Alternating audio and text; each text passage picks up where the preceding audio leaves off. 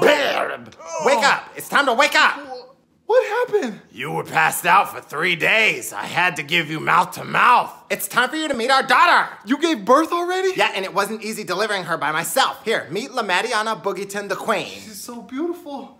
I'll call you LaBoogie for short. I still don't have to respect you. Tyrone, I swear you better not disrespect my daddy. I'm gonna come over there and kick your ass oh, so hard you're gonna be pooping out your mouth.